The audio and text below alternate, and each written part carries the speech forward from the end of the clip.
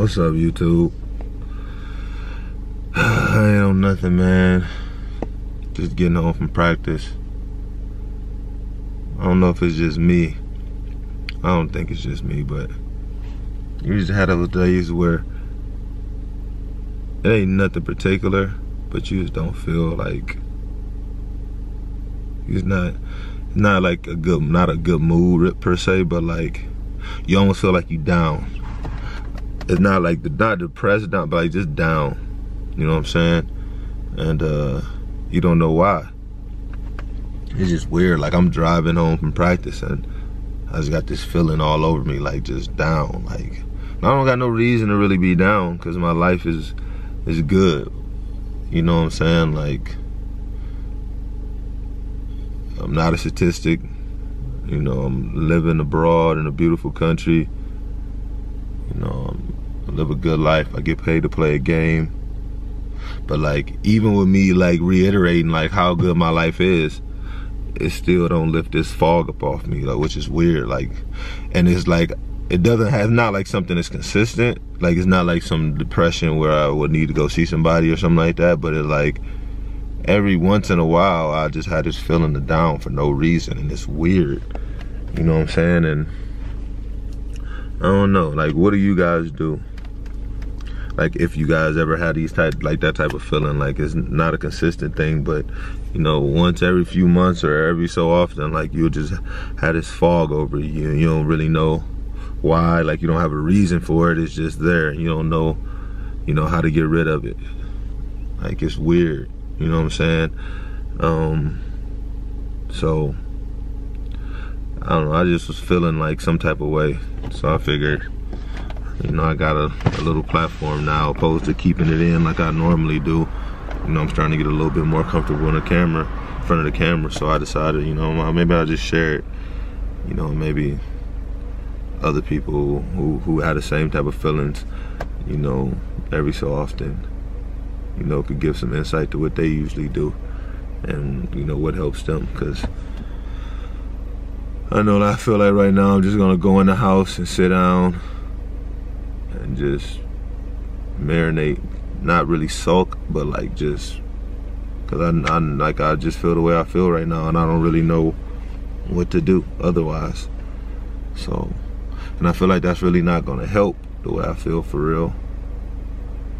It almost probably make it worse just sitting in the in the house by myself. But yeah I don't know what else to do. I usually don't know I usually don't know what to do when I had it, when I feel this type of way. So, I don't know, man. People subscribe or people who just pass this video, you know, just, you know, passerbys on the video, man. Leave a comment, man. Let me know what you guys do. You know, what helps you guys out of these funks when you guys are in, in a rut or, or just feel some type of way or feel down or have a, you know, a, um, a fog over your day you don't know exactly why you know i appreciate it. And um i don't know. I feel like sometimes it's kind of taboo to really share like these type of feelings about yourself or like how you're feeling.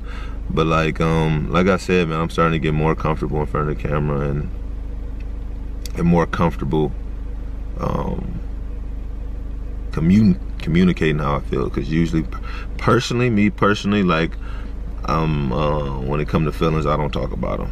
You know what I'm saying? Like I just let the shit build up, and and usually that shit build up and overflow onto some person. You know what I'm saying? And I know that shit's wrong, but that's just how I've been my whole life. And you know, I'm trying to get out of it.